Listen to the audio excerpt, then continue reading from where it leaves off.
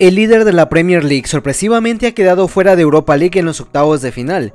El equipo de Arteta se vio sorprendido por el Sporting de Lisboa, que con un golazo que seguramente puede ganar el Puskas del año, forzó los alargues y selló su clasificación en la tanda de penales.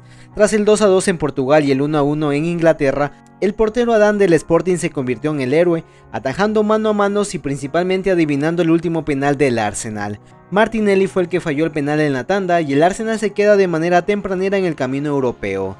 Tras fallar su penal, Martinelli tuvo que ser consolado por sus compañeros de equipo, incluso por el propio Mateo Laos que fue el árbitro del partido. Un durísimo revés para el líder de la Premier League. Y hablando de líderes, los torneos europeos ya han perdido a tres líderes de las grandes ligas. Barcelona eliminado, Arsenal eliminado y Paris Saint Germain eliminado. Por ahora quedan los líderes del calcio el Napoli y la Bundesliga el Bayern Múnich.